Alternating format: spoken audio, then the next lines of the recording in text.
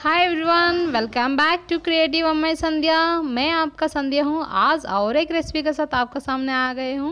वो है इमरती। कितना सुंदर लग रहे हैं ना? बहुत अच्छे लग रहे बहुत टेस्टी भी है। जूसी जूसी क्रिस्पी बहुत अच्छा लगता है। पूरा टिप्स का साथ आपका सामने लेके आ गए हूँ ये रेसिपी बहुत अच्छे लगते हैं। मैं जो भी रेसिपी अपलोड करते हूँ, वो ऐसे एक्सपेरिमेंट करके आपको नहीं दिखाती हूँ। मैं अच्छे से उनका बारे में पता करके और स्वीट शॉप में जाके उसके बारे में पूरा तरह से पता करके मैं पहले सीख, सीखने के बाद ही आपको अपलोड करती हूँ वीडियो करके आपका तक पहुँच देती हूँ।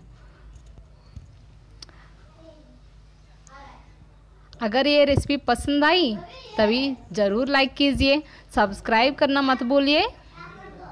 कोई भी डाउट है, कुछ भी बोलना चाहते हो, ज़रूर कमेंट कीजिए, हम तुरंत ही रिप्लाई दे देंगे। एंड नेक्स्ट अगर आपको कोई भी रेसिपी हाँ हमसे सीखना चाहते हो प्लीज़ कमेंट कीजिए, हम ज़रूर आपको तुरंत ही अपलोड करती हूँ। आपको कमेंट को तुरंत ही रिप्लाई भी दे देंगे। देखिए कितना क्रिस्पी लग रहे हैं। जूसी भी है।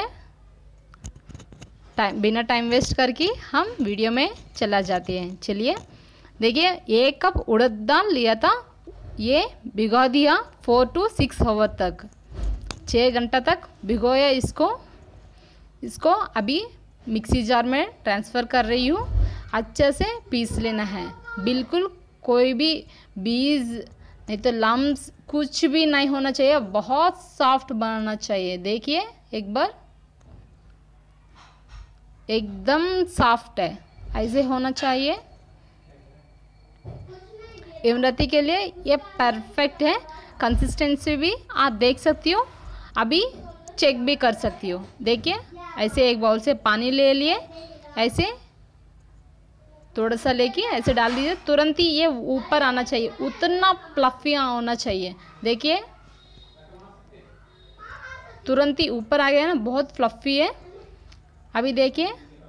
दूसरा बाउल में ट्रांसफ़र कर दिया अभी चाशनी के लिए तैयार कर देंगे।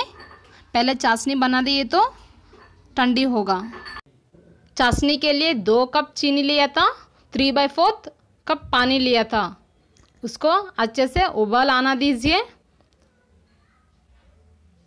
देखिए हमारा चाशनी उबाल आ गया है। इसको हम चेक करेंगे।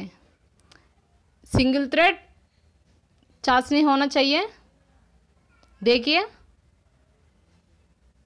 बहुत पतली चाशनी होना चाहिए नहीं तो गाढ़ा बन जाएगा। कंसिस्टेंसी होना चाहिए नहीं तो वो क्रिस्टलाइज बन जाएगा ठंडी होने का बाद। उसमें अगर आप चाहते हैं तो नींबू भी डाल सकती हो। अभी देखिए, ये ठंडी होने के लिए रख देंगे। इसमें एक स्पून चावल का आटा, एक स्पून कॉर्नफ्लोर चुटकी बार रेड फ़ूड कलर डाला था।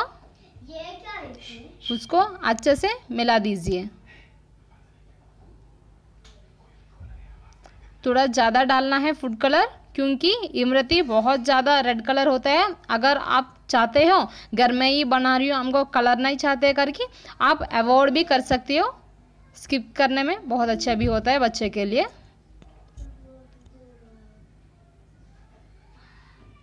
इसमें थोड़ा सा साल्ट डाल दीजिए। कोई भी स्वीट्स में थोड़ा सा साल्ट डालने में अच्छा स्वाद आएगा। थोड़ा सा सोडा भी डाल दीजिए। चुटकी भर सोडा डाल दीजिए, नहीं तो वो ज़्यादा ऑयल ले लेगा। अच्छे से मिला दीजिए। हमारा बैटर आप ऑब्ज़र्व कर सकते हो। बहुत फ्लफ़ी है। देखिए, ये कंसिस्टेंसी ज़रूर होना चाहिए। अगर आपका बैटर पतले हो गए, उसमें और थोड़ा सा कॉर्नफ्लोर ऐड कर सकते हो। अभी ये तैयार हो गए। अभी ऑयल डाल देंगे। गैस फ्लेम ऑन करके ऑयल को हीट होने दीजिए।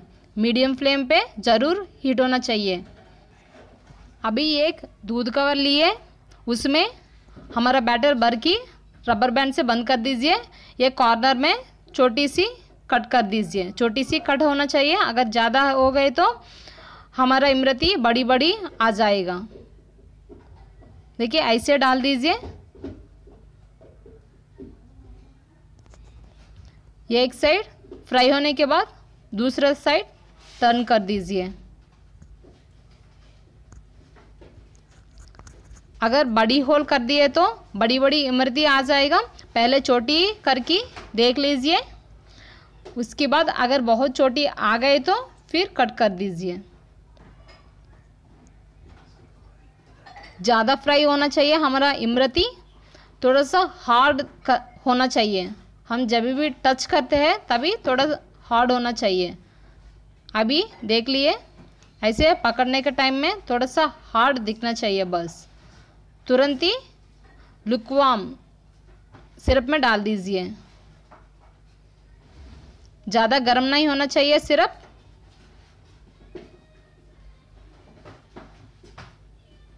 ऐसे डाल दीजिए। अगर पहली बार आप कर रहे हो, पहले एक पॉलिथीन में प्रैक्टिस कर दीजिए, उसके बाद ऑयल में डाल दीजिए।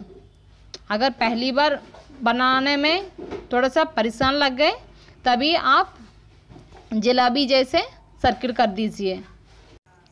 कोई परेशान नहीं हो। देखिए, एक साइड होने के बाद एक साइड शिफ्ट करके थोड़ा सा हार्ड आ गए तो निकाल के गरम गरम इमरती, हल्की गरम सिरप में डाल दीजिए चाशनी में।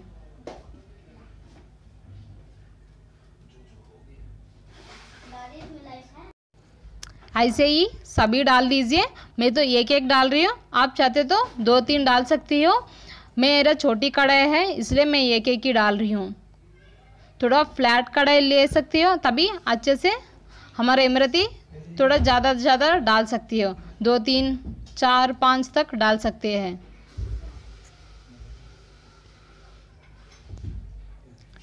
ऐसे सिंपल रेसिपीज़ आप घर में ही अच्छे से ट्राई कर दीजिए बच्चों को।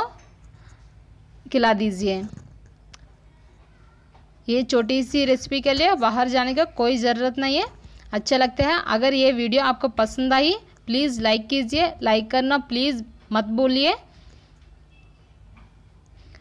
सब्सक्राइब कर दीजिए। अगर कुछ भी डाउट है, कुछ भी बोलना चाहते हो कमेंट में ज़रूर कमेंट कर दीजिए। जो भी रेसिपी हमसे आप सीखना चाहते हो कमेंट में कर कमेंट कर दीजिए, हम तुरंत ही आपको रिप्लाई दूँगी। थैंक यू फॉर वॉचिंग आपको सपोर्ट हमको बहुत ज़रूरत है। प्लीज़ सपोर्ट कर दीजिए, हमको सब्सक्राइब करके। आप देख सकती हो, हमारा इमरती कितना अच्छे से बन के तैयार की आ गए बहुत जूसी जूसी है, बहुत क्रिस्पी भी है, बहुत अच्छा लगता है। आपका घर में ज़रूर ट्राई कीजिए यह रेसिपी बहुत अच्छा लगता है।